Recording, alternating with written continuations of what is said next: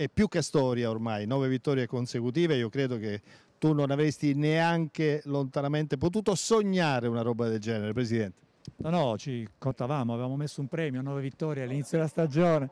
Hai messo la mascherina perché stai mentendo spudoratamente. Scherzo, una cosa straordinaria, è una cosa che dedichiamo alla città, a tutti gli sportivi, a tutta la gente che, che in questo momento magari non, non ha molto per ridere, per gioire e noi lo regaliamo. Ho letto un'intervista bellissima uh, dei Bundabash dove dicevano noi siamo orgogliosi che oggi si parla di Brindisi, di Mesagne e del nostro territorio e si fa l'esempio del nostro gruppo e noi fa piacere che nello sport si parli di Brindisi e si parli di Brindisi a livelli altissimi come in questo momento dove c'è una squadra che è partita col solito obiettivo di una salvezza da raggiungere nel più breve tempo possibile, ora è seconda in classifica un distacco importante sulle terze e va a fare qualcosa di incredibile. Andiamo a Milano a giocarci il primo posto. Se qualcuno ce l'avesse detto dieci anni fa quando è iniziata questa avventura l'avremmo preso per un ubriacone. Invece c'è, è vero, è storia e godiamocela, godiamocela sino all'ultimo secondo. Non so quante altre volte ci potrà capitare di andare a Milano a giocarci il primo posto.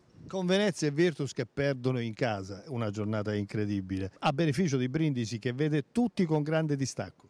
Sì, però è chiaro che non dobbiamo montarci la testa, noi sappiamo eh, il, nostro, il, nostro, valore, conosciamo quelli che possono essere i nostri limiti che stiamo anche eliminando e con molta umiltà, come sempre dico e predico da qualche mese, dobbiamo continuare a vederci in palestra, a giocare con la stessa attenzione, professionalità e intensità, perché se noi mettiamo questo in campo abbiamo dimostrato che ce la giochiamo con tutti.